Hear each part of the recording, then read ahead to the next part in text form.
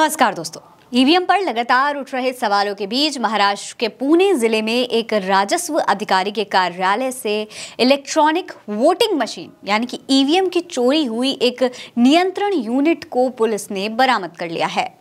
इस मामले में दो लोगों को गिरफ़्तार भी किया गया है। दोस्तों, ये चोरी तीन फरवरी को सासवर्ड में एक तहसीलदार के कार्यालय में हुई थी। इसका एक सीसीटीवी फुटेज भी सोशल मीडिया पर वायरल हुआ था। देखिए इस वीडियो को। वीडियो में कुछ लोग कार्यालय के कमरे में दिखाई दे रहे हैं। उन्होंने हाथ में ईवीएम भी पकड़ी हुई है और कुछ और सामान भी नज़र आ रहा है। इस मामले पर एक सीनियर पुलिस अधिकारी ने बताया है कि घटना के बारे में सोमवार को जानकारी मिली थी। इसमें तीन लोगों ने कथित तौर पर तहसीलदार कार्यालय से ईवीएम की कंट्रोल यूनिट और कुछ सामान चुराया था।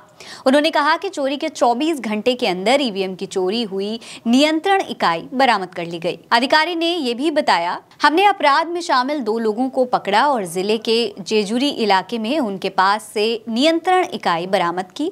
इसके बाद आगे की जाँच की जा रही है। उन्होंने कहा कि तीनों आरोपियों के खिलाफ सासवर्ड पुलिस स्टेशन में मामला दर्ज किया गया है। वहीं दोस्तों, चुनाव आयोग ने संज्ञान लेते हुए राज्य सरकार को निर्देश जारी कर दिए हैं। उन्होंने कहा है कि तीनों आरोपियों को तत्काल प्रभाव से निलंबित करके आगे की कार्रवाई की जाएगी। फ़िलहाल चुनाव आयोग ने राज्य को क्षेत्र के उप विभागीय अधिकारी, तहसीलदार और उप विभागीय पुलिस अधिकारी को निलंबित करने और उनके खिलाफ अनुशासनात्मक कार्रवाई शुरू करने का निर्देश दे दिया है। वहीं राज्य सरकार को प्रशिक्षण और जागरूकता के सुरक्षा प्रोटोकॉल सुनिश्चित करने के लिए जिला चुनाव अधिकारी, पुलिस अधीक्षक और जिला कलेक्टर से स्पष्टीकरण मांगने का भी निर्देश दिया गया है।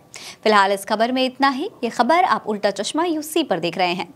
मेरा नाम है फरहीन अंसारी। आप रहें स्वस्थ, मस्त। बस यही है दुआ हमारी। मिलते हैं अगली वीडियो में। तब तक के लिए अलविदा।